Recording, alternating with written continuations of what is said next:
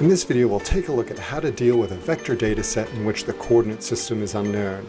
This is extremely frustrating. An unknown coordinate system can be the result of the coordinate system being accidentally deleted, never defined in the first place, or perhaps lost during data conversion such as moving from CAD to GIS. Let's begin in ArcGIS. I've got a base map loaded in, the World Dark Gray base map, and also the Vermont state boundary. The Vermont state boundary is in Vermont state plane coordinates, and because it's the first non-base map layer I've loaded into ArcGIS, the map data frame has adopted the coordinate system from that layer. So the map data frame is set to Vermont state plane NAD 83 meters. This means that any layer that's added into this map document, if it has a defined coordinate system, will be automatically reprojected on the fly to Vermont state plane. If it doesn't have a coordinate system, ArcGIS will have no idea how to plot it out. Now I'm going to go into ArcCatalog and add an open space layer. This open space layer does not have a defined coordinate system. As a result, when it's added to ArcGIS, all ArcGIS can do is assume it's in the same coordinate system as the data frame, which is Vermont State Plane. Going into the properties of this layer, we see that the coordinate system is in fact unknown. This open space layer is for the city of South Burlington, but zooming into that location shows no evidence of the layer. When we right-click and choose Zoom to Layer, it zooms us to the location of the open space layer.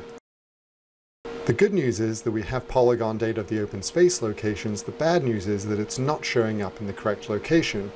When we zoom out, we can see that it's appearing somewhere up at the Arctic Circle. This is clearly incorrect. This problem is caused by the fact that we have a map data frame with the coordinate system set to Vermont State Plane NAD 83 meters and an open space layer which although it has polygons that have a location, that coordinate system is undefined and it's clearly not Vermont State Plane. Now we need to start the coordinate system guessing game. The way this works is we're going to continually change the coordinate system in the data frame until the open space layer lines up in the correct location. Guessing the correct coordinate system can be really difficult because there's thousands of possible options. Guessing the coordinate system can be really intimidating because there's thousands to choose from. Fortunately for me, someone told me that the open space layer is in the UTM coordinate system.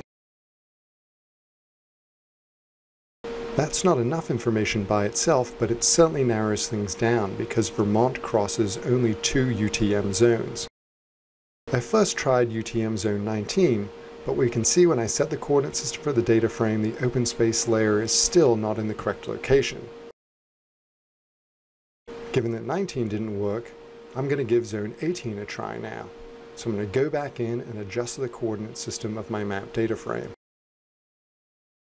Once I set the coordinate system to UTM zone 18 and click OK, we see that the open space layer appears where it should in South Burlington.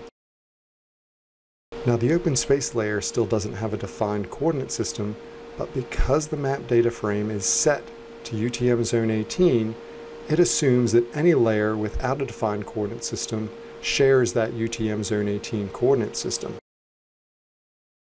I'm just switching base maps now to an image layer just to confirm that these open space polygons appear in the correct location.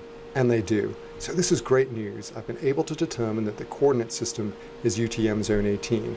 Now my next step is to use the define geoprocessing tool to actually write that coordinate system information into the file. I'm going to run the define tool on my open space layer, setting the coordinate system to match the current map, which as we know is set to UTM zone 18. Because my open space layer now has a defined coordinate system, I can change the coordinate system of my map data frame back to Vermont State Plane NAD 83 meters, and my open space layer will still appear in the correct location. That's because ArcGIS is projecting it on the fly, which is to say, it's temporarily transforming the coordinate system from UTM to state plane for display purposes.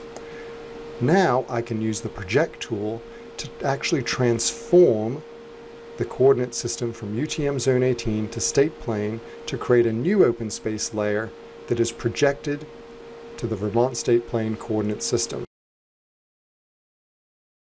Now let's review the two open space layers that I have in my ArcGIS Pro project. My original open space layer that originally has an undefined coordinate system now is correctly defined as UTM Zone 18.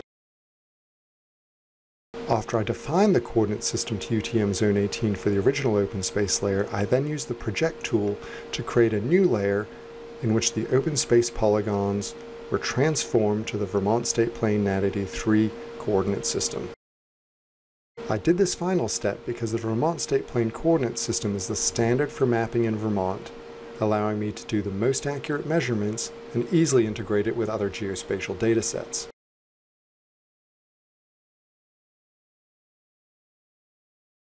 In this video we showed you how to deal with an unknown coordinate system. The first thing we did was make sure that we have an ArcGIS Pro project with a reference layer with a known coordinate system. A base map works just fine. Then we continually changed the coordinate system of the map data frame until our unknown layer appeared in the correct location.